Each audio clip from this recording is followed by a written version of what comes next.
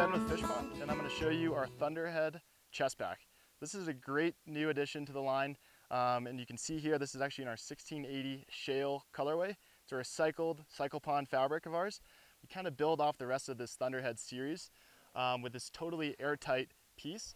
Um, so this is a little uh, chest pack that actually docks to the back, as you can see here, of a backpack. Um, also is a standalone chest pack as well. Flip this guy around and it has this beautiful carry system.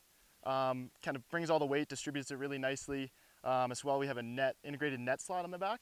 So this net slot's awesome, keeps the net nice and high off your back. Uh, if you're wading, you can carry a big guide net.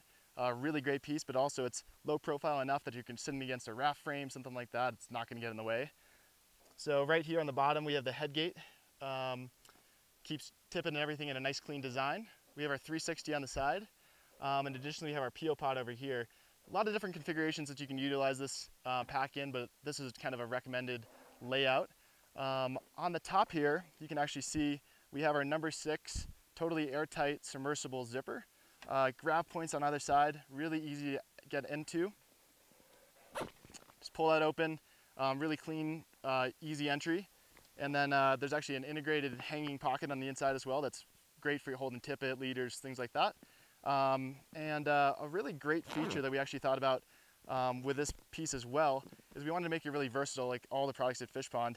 And um, you can actually take off these clips here and on the back there's actually this really, uh, really interesting piece of hardware that uh, it's this little plastic piece so you can actually slide this back through this buttonhole and then what you're left with is this great little pod. So this pod um, has a variety of different options you can use it, utilize it for. Um, you can slide this onto a wader belt um, if you want a really uh, clean design that goes right through here. So you just have this great little pod that you can use salt water, if you just kind of a minimalist approach. Um, also attaches, you can put it onto a raft frame, strap it on, put it onto a cooler. Um, so it's kind of a great versatile piece. You can wear it in this configuration if you're hiking to the high country. You can also utilize this kind of minimalist day pack. Um, so just a lot of great little features in this pack. So this is the Thunderhead chest pack.